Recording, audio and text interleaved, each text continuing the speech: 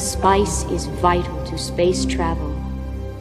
The Spacing Guild and its navigators, who the spice has mutated over 4,000 years, use the orange spice gas, which gives them the ability to fold space. That is, travel to any part of the universe without moving. So the, I'm going to talk more and more about fiction now because fiction is a way of projecting from where we are. And if you imagine that the mind matter interactions that we see in the laboratory are pretty small, but if we find ways of significantly improving them, something like that story could actually take place. We also have now the possibility of doing genetic selection and enhancement.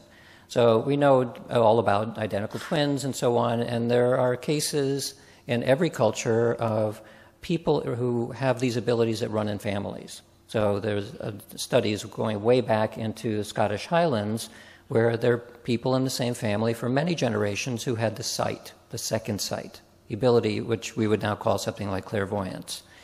Uh, the question is whether this was nature or nurture. And so one of the projects I'm working on now is to see whether or not we can study people who are either identical twins or members of the same family who have psychic ability use the, the modern genome techniques to look for a constellation of genes that are associated with these abilities. If we find them, we might be able to both enhance and suppress these abilities.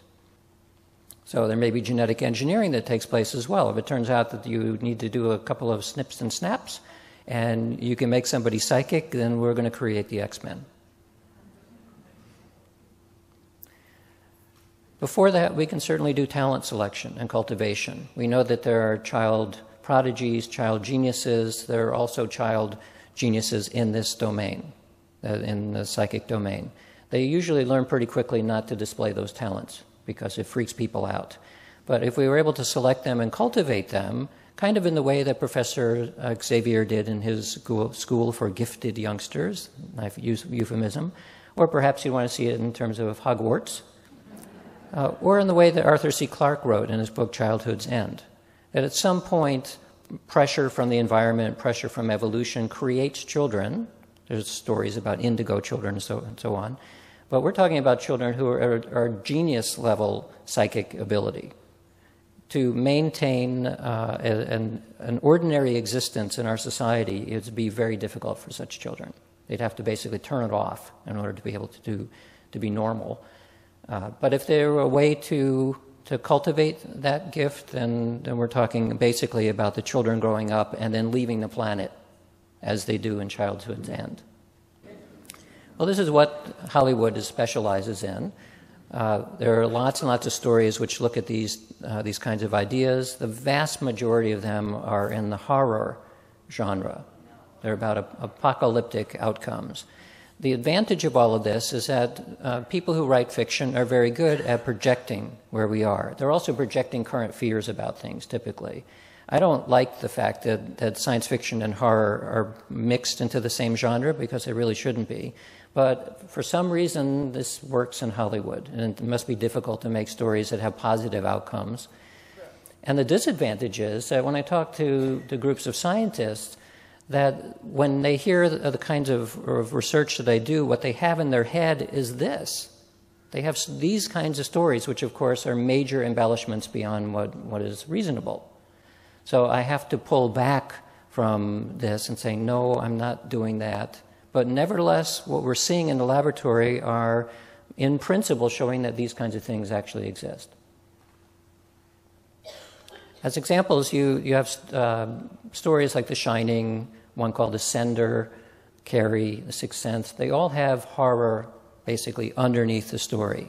At least The Sixth Sense was more about mystery than horror, but it, they're always portrayed in a kind of a creepy way, which I don't particularly like. The other thing is the Frankenstein notion that in, in the movie Phenomenon and another movie named Powder, the major characters are very different than others. In the case of Phenomenon, he gained the power through some kind of a lightning bolt or something and Powder just was uh, born that way, they have exceptional psychic abilities and, and expanded consciousness, and they cannot live The story says they must disappear, they must die, they must go away because they can't live in the society that we live in. And this actually, is, I think, is pretty accurate. It's something I've heard from, from exceptional psychics who hide it because they know you're not supposed to talk about it. So we need to imagine a society where these kinds of things are encouraged and allowed, and that will be a very different kind of world. We have other stories like Minority Report, where uh, this was a Philip K. Dick story exploring the, the uh, consequences, in this case for policing, that if something like precognition was used to stop crime before it occurred. Uh, similar kind of story in Next. This is one with Nicolas Cage as a character who is able to perceive the future three seconds in advance, which doesn't sound like much, uh, but it's a very interesting movie if you haven't seen it to see how he lives as somebody who can, who can sample the future three seconds ahead and what he does as a result. There are a number of movies that make fun of this notion, like The Men Who Stare at Goats, or Vibes, or Ghostbusters. Uh, it's, a, it's a nice theme to make fun of. And this is a very, very old story. Even when the movies were just beginning in 1935, there's a movie by Claude Rains and Fay Wray called The Clairvoyant. And this is based on a, a story where uh, you have a mentalist who is faking psychic phenomena uh, until, and he's doing it in front of audiences and doing shows. And then he notices that when there's a certain woman who become, gets near him, that he's getting real psychic information. So he starts making predictions which turn out to be true, and of course he gets in trouble over it because people think, how could he possibly know that? He must have made these things happen. Uh, and the story ensues. Uh, recent stories looking at uh, the use of pharmaceutical uh, methods of creating exceptional consciousness related effects. One is Lucy, the other one is Limitless. Uh, I've watched both of them five times because they're fun to watch. The, the, the conceit in Lucy is that we use 10% of our brain. If you take a certain drug, you can use 50, 60, and eventually 100% of your brain. Well, that's not really accurate. And even the person who wrote the story knows that it's not accurate, but it was a way to, to introduce the notion in the movie. So here's a clip from Lucy where she has to retrieve uh, something that a bad guy has. Give me the case.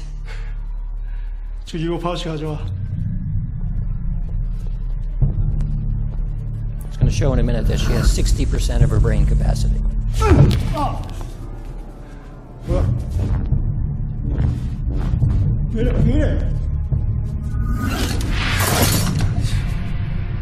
뭐야 이 새끼들아 전현 죽여!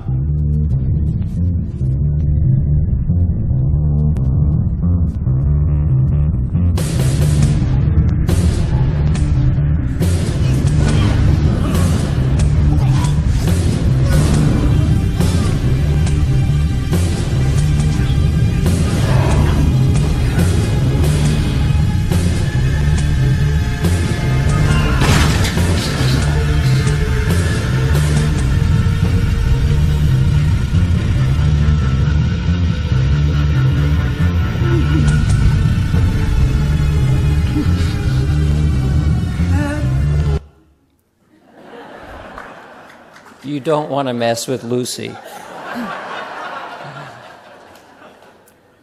this is a great character because uh, Lucy's kind of a fly by night floozy in the beginning, and so she has advanced co- uh, cognitive capacity as well as these other powers that, that are developed. So, what do we do when we start developing these things? Well, one thing I hope that happens is our ability to do things like energy healing becomes much, much better because we begin to understand it better. So maybe in the realm of health and healing, we can do some significant advancement. Certainly in the realm of exploration.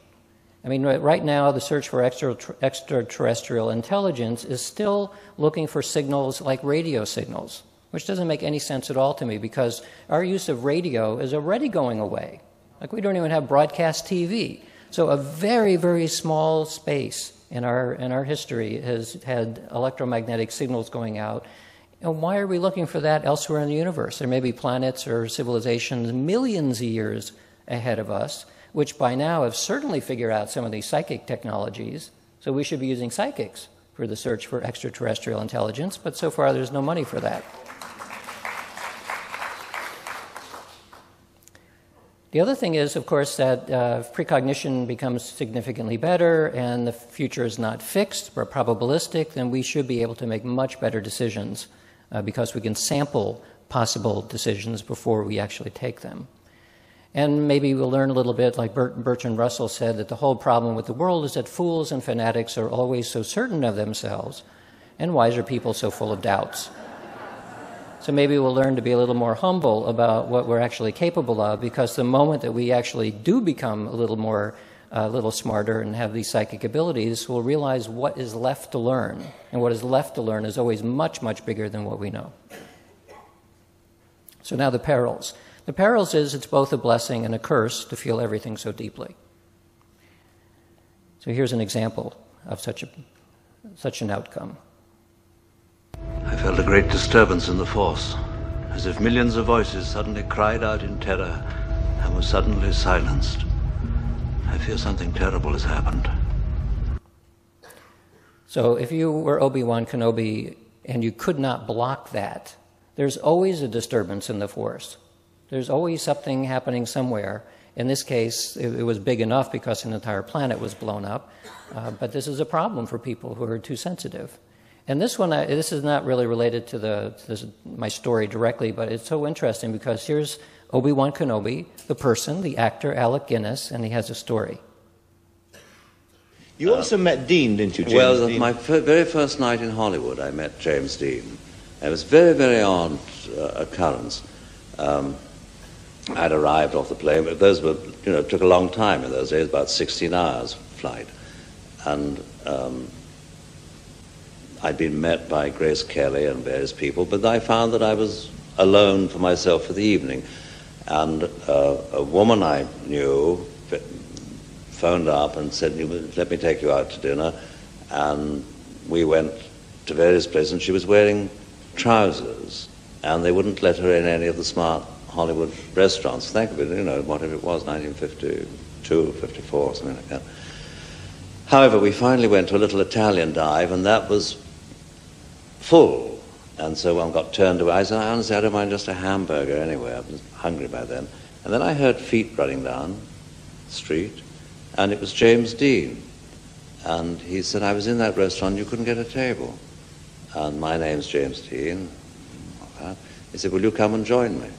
So we said, yes, very kind of him. And then going back into the restaurant, he said, oh, before we go in, I must show you something. Um, I've just got a new car. And there in the courtyard of this uh, little restaurant was a, I don't know what the car was, some little silver, very smart thing, all done up in cellophane with a bunch of roses tied to its bonnet. Uh, and I said, how fast you, can you drive in this? He said, oh, I can do 150 in it. And I said, have you driven it? He said, no, I've never been in it at all. And some strange thing came over me, some almost different voice. And I said, look, I won't join your table unless you want me to, but I must say something. Please do not get into that car. Because if you do, and I looked at my watch, and I said, if you get into that car at all, it's now Thursday, whatever the date was, uh, 10 o'clock at night, and by 10 o'clock at night next Thursday you'll be dead if you get into that car. I oh, nonsense. So we had dinner, we had a charming dinner, and he was dead the following uh, Thursday afternoon in that car. It was one of those odd, odd, things. Where, where, did, I mean, has it ever happened to you before? no, I'm glad to say. But it was one of a very, very odd, spooky experience. He was, not, I liked him very much too. I'd love to have known, known him more. So that's interesting. This is the, the actor who plays someone who has this kind of experience.